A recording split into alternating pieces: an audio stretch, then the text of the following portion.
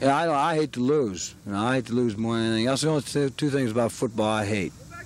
Injuries is one, and losing is the other.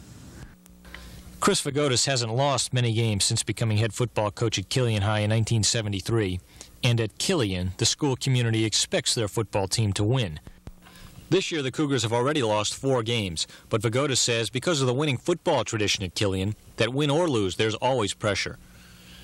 It's pressure on me. We're not we're not 10 and 0. We've been 9 and 1 four times, or 9 and 1 better. There's pressure on me then. I want to be a state championship, you know, and we haven't got it yet. I'm not going to leave here until we do. In order to have a good program, you're going to you're going to stress winning, winning tradition. Don't don't anyone wants to be uh, second. In other words, the reinforcement of the good football program would be to win.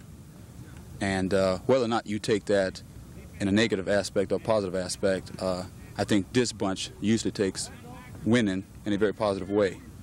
So it is stemmed from uh, Coach Vagotis. Building a program is one thing, and maintaining it is harder. We played six ball games, okay?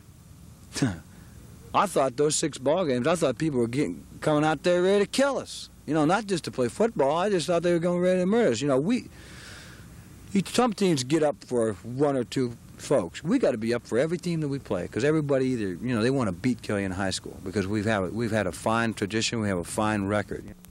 And that's pressure, no matter what level of football you're talking about.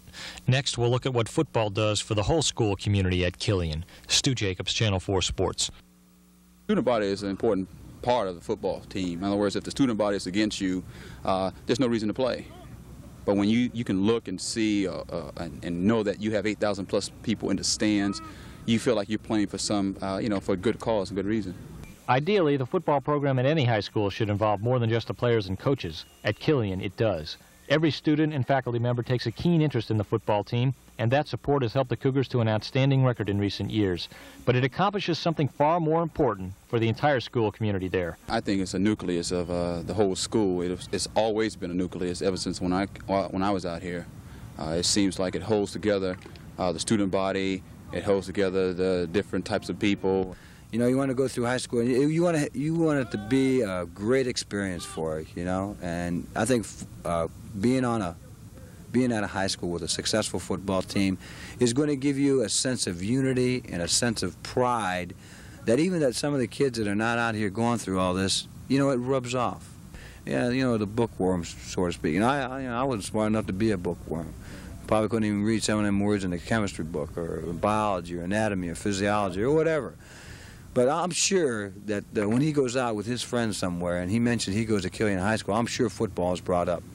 It's brought up at every at every school that has great tradition.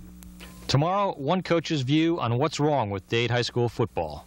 Stu Jacobs, Channel 4 Sports.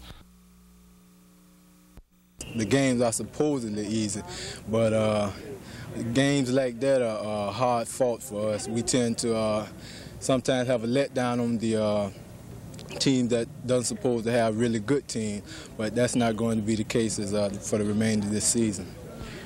What are you going to have to do? What's the defense going to have to do in order to play up to their uh, expectations? Well, we just going to have to play our game, go all out and hustle on every play and gain tackle and, you know, just go all out. We want to have a winning season so bad this year that in order for us to win, the defense is going to have to do their part. If, if that means shutting out the opposing team, then uh, that's what we're going to try to do.